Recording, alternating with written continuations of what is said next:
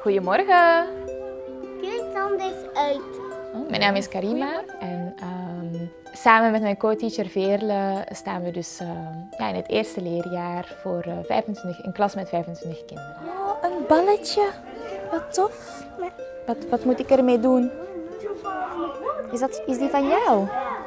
Ja? In onze klas is er op dit moment geen enkele leerling die, waarvan Nederlands thuistaal is. Dus eh, het Nederlands aanleren is voor hun eh, niet de eerste taal om een taal aan te leren. Ah, je moet erin knijpen. Ik zie dat je erin knijpt. Is het een knijpbal? Maar- Oh ja, wat gek. Ik ben thuis ook alleen opgegroeid met of het Arabisch of het Frans. Dus Nederlands werd thuis eigenlijk niet gesproken. Dus voor mij was het aanleren van de Nederlandse taal ook wel ehm, ja, lastig. En ik was, tot, ik was de hele tijd bezig met het linken naar het Arabisch naar het, of naar, het naar de Franse betekenis. Zij zijn hier ook continu mee bezig gedurende de hele dag. Dus ehm, ja, ik kan mezelf wel heel goed eh, herkennen en inleven in wat de, wat de kinderen hier in de klas allemaal eh, meemaken. Wat zijn dit allemaal? Apen. Ja. Van wie zou deze schedel dan zijn? Hebben wij ook een schedel? Ja. Hebben apen ook een schedel? Dus van wie zou deze dan zijn? Ik vind het gewoon enorm belangrijk dat als de kinderen 's ochtends binnenkomen, dat ze zich veilig voelen, zich welkom voelen, dat ze gehoord, gezien zijn door de juf. Heb je goed geslapen? Eh, je probeert met iedereen contact te maken, al is het een kort contact, maar voordat we beginnen met de les, eh, welkom en eh, ik heb je gezien en wat fijn dat je een boekje leest, wat fijn dat je erbij bent. Weet je dat nog? De schurk, de slechterik. Wie is dat? Kan je hem zien hier? Kan je de schurk zien? Oh, je wijst naar karkamel. Ja, de schurk. Veilig klimaat begint eigenlijk vanaf het eerste moment, het eerste contact, tot, tot het laatste contact wat ik met de kinderen heb. Ik werk daar eigenlijk wel echt de hele dag aan. Ehm, omdat alleen met een veilig klimaat kunnen de kinderen zijn wie ze zijn en kunnen durven zich dan ook te uiten. lieve jongens en meisjes, het is tijd. En daarna kiezen, kiezen we elke ochtend een voorzitter uit. En eh, die mag dan de kring begeleiden. Faiza, wil jij de voorzitter zijn vandaag? Oké, tof. Dan geef ik jou het kaartje van de voorzitter, want zo kan iedereen goed zien dat jij de voorzitter bent vandaag. Welkom iedereen. Welkom! Nieuws over de test. Nieuws over thuis. Dit is een moment om, om ja, ook op een andere manier ook spreekkansen te stimuleren en ook gewoon een, een ander soort interactie. We hebben een nieuwe auto gekocht. Wauw, jullie hebben een nieuwe auto gekocht. Dawood vertelt net dat, dat zij een nieuwe auto hebben gekocht. Vertel eens meer over jouw auto. Hoe ziet die eruit? De ik heb niet gezien, de. De binnenkant heb je nog niet gezien. Oh, tof. Dus het is nog een beetje een verrassing.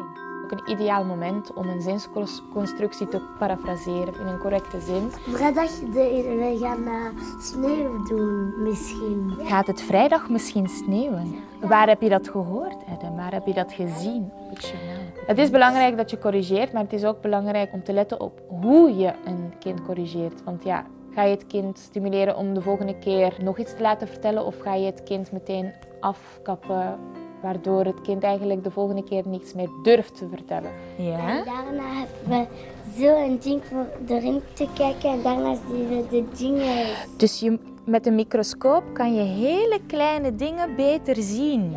Is dat wat je bedoelt? De hele dag door ben ik wel bezig met het parafraseren, met het herhalen, het aangeven dat ik begrijp wat er wordt verteld. En de kinderen zullen het misschien niet de eerste keer of de tweede keer op een correcte manier inpikken, maar ze zullen wel altijd het gevoel hebben van oké, wat ik nu vertel, juf begrijpt wat ik bedoel en die, die hoort mij.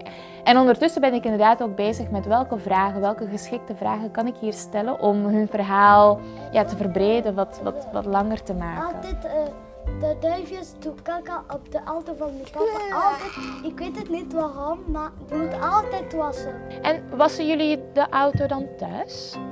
Nee, eh, Ik probeer wel zoveel mogelijk open vragen te stellen. Waarom open vragen? Want ja, dat leidt meer naar een interactie onderling in plaats van ja, nee. Of als ik het antwoord al ga vertellen, dan ja, dan stopt het gesprek ook zo snel mogelijk. En in tegendeel, ik wil juist dat het gesprek verder loopt. Waar kan jij je auto altijd wassen? Waar doe je dat altijd? Hoe heet dat?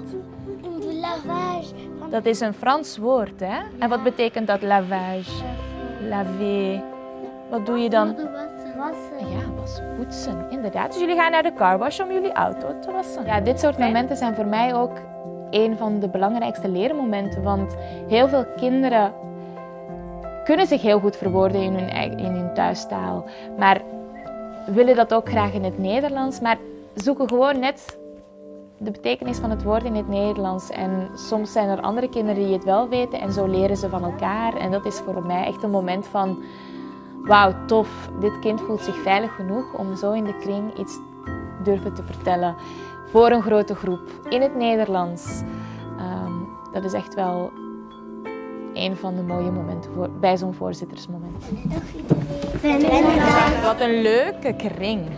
Heel goed gedaan. En dan daarna ehm, ja, begint het differentiëren. Dus dan begint het, eh, het moment dat mijn co-teacher een groep verder begeleidt. En ik ga dan met een ander groepje aan de slag. Als je klaar bent, mag je naar achter komen.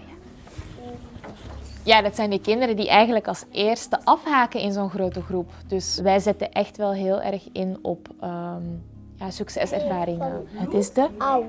Is dit de ik de van neus. De neus, dus het is de eu van neus. Heel goed. Dat doet al heel veel met het zelfvertrouwen. En eh, van, ik zit hier wel met de juf, maar ik ben eigenlijk ook wel keigoed bezig. Super goed gedaan. Zeg, dat ging snel hè? Dat gaat zo sneller en sneller. Hoe komt dat, dat wij dat zo goed en zo snel kunnen? En inderdaad, er is ook een ons-moment met de juf. Misschien durft een leerling niet in een grote groep iets te vertellen, maar zo'n een ons-moment in een kleine groep komt een, ja, bloeit een kind ook meer open. En dat, dat merk je ook aan hun houding en eh, aan hun verhalen die eruit komen. De papa zijn. De papa zijn. Ah ja, dus als er een baby komt, dan wordt de papa een papa en een mama. Mama. Een kind heeft ook recht op een, op een goede gesprekspartner. Dan geef je elkaar de tijd wanneer het nodig is. En ehm, ja, bevestig je dat je luistert en dat je wacht op een antwoord. Wacht, Aya is nog iets aan het vertellen. Ik ben nog een beetje aan het nadenken. Kinderen die hebben soms wel tijd nodig om, om iets te, te durven te vertellen of, of hebben even de tijd nodig om de juiste woorden te zoeken. Nou, dan moet, ga ik vooral niet eh, ja, dat, die denktijd meteen blokkeren. Oké, wie heeft er dan ehm, wie heeft er, wie heeft er wel iets eh, te vertellen? Of eh, dat ik de, de zin zou invullen. Dus ik vul, ik vul al in wat ze eigenlijk willen vertellen zonder dat ik de kinderen de kans geef om, zelf, eh, om zichzelf te laten uiten. Je weet niet hoe ze heet, Noem je- want je noemt haar mama. En hoe heet jouw papa? Wat is de naam van jouw papa? Ah, dus je kent wel. Is het dezelfde naam? Vrijdag gaan wij ook koken met een eitje. Ja. Gaan we pannenkoeken bakken of gaan we een gebakken eitje maken? Wat zullen we maken vrijdag? Een ding. Om te, een glas met eieren. Een zacht gekookt eitje, net zoals hier op de foto. Zoiets. Ja. Ja. En kan je dat dan zo helemaal opeten? Nee. Nee, wat moet je dan doen? je Daarna je moet open. Daarna je vinden ze natuurlijk super leuk, het doen. Maar daarvoor moeten we ook al van tevoren nadenken van, ja, wat kan je allemaal met dat ei? Ja, zo. En kook je dan je eitje in water? Nee. Nee. Ja, wat is de eerste stap? Wat hebben we ervoor nodig?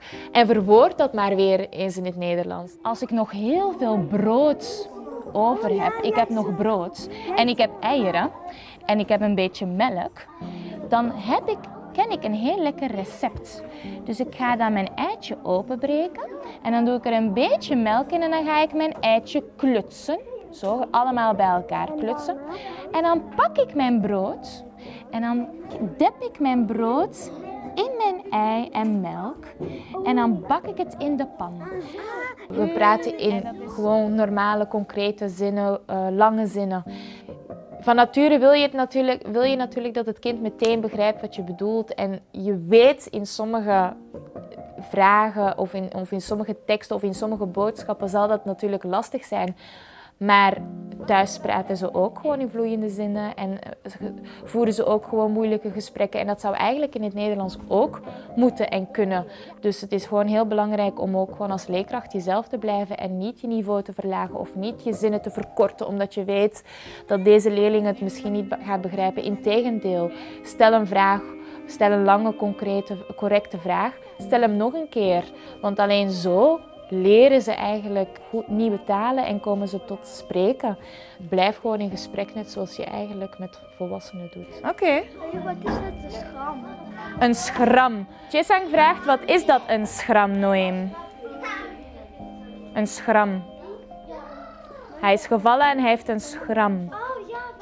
Als kind op de, op de basisschool durfde ik niet zo, zo snel vragen te stellen. Of ik durf nog niet in een grote groep te vertellen aan de juf van... Maar ik, ik weet alleen wat het in het Frans betekent. Ik had juist het gevoel van, oké, ik, ik moet me bewijzen dat, dat ik het ook kan en dat ik het ook begrijp. Ook al was dat vaak niet het geval. Het doet heel goed om te zien dat de kinderen hier in de klas bij mij durven om... eh, ja, dat stukje onzekerheid te laten zien.